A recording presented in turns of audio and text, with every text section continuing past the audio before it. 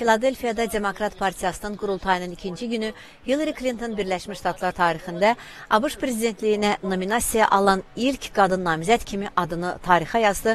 Hazırda Wells Fargo mərkəzində sakitlikdir, lakin dünən axşam buradakı həyəcanı görmək lazım idi. Əvvəlcə Hillary Clinton'ın nominasiyası oldu. Bir-bir ad-bad Amerika Birləşmiş Ştatlarının bütün ştatlarının nümayəndələri burada öz səslərini verdilər və səs çoxluğu ilə Hillary Clinton Amerika Birləşmiş Ştatları prezidentliyinə Demokrat Partiyasının namizədi oldu və çox maraqlı bir cəhətdir ki, Hillary Clinton'ın bu kampaniya zamanı rəqibi olmuş Vermont senatoru Bernie Sanders bu elanı özü oxudu və bununla partiyada yenidən birlik yaratmaq səylərinin olduqca mühüm olduğunu göstərməyə çalışdı. Demokrat Partiyasının qurultayının ikinci günü burada səhnədə ABŞ Konqresinin Nümayəndələr Palatasının keçmiş spikeri Nancy Pelosi, ABŞ-ın keçmiş dövlət katibi Madeleine Albright çıxış etdilər. Bundan sonra ABŞ Konqresində mühüm siyasi fiqurlar olan nüfuzlu senatorlar və Konqresdə nüfuzlu qanunverici olan qadınlar da çıxış etdilər və onlar Hillary Clintona dəstəyini bildirdilər. Lakin gecənin kulminasiyası, gecənin ən maraqlı çıxışını ABŞ-ın keçmiş prezidenti Bill Clinton etdi.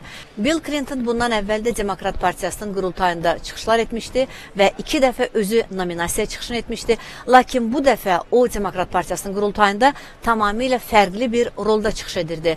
İlk dəfə olaraq o 2016-cı il ABŞ prezident seçkisində qadın namizədin həyat yoldaşı kimi danışırdı.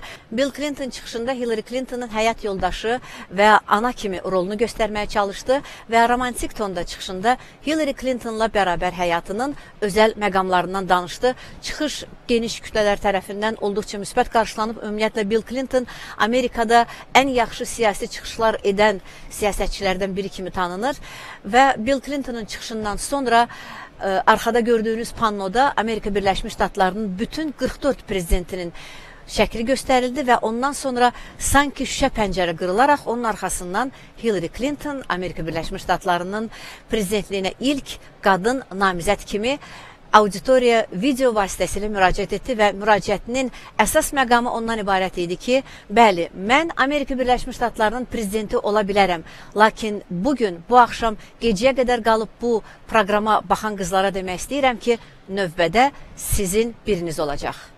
Demokratlar Partiyasının qurultayı öz işini davam etdirir və bugün yenə də ən mühüm axşamlardan biridir. Ümumiyyətlə, hər gün çox mühümdür. Amma bugün Birləşmiş Ştatlar Prezidenti Barack Obama və vitse-prezident Joe Biden səhnəyə çıxacaqlar və onlar Demokrat Partiyası və onun namizədi haqda danışacaqlar və bu xəbərləri də sizə növbəti verilişlərimizdə çatdıracağıq.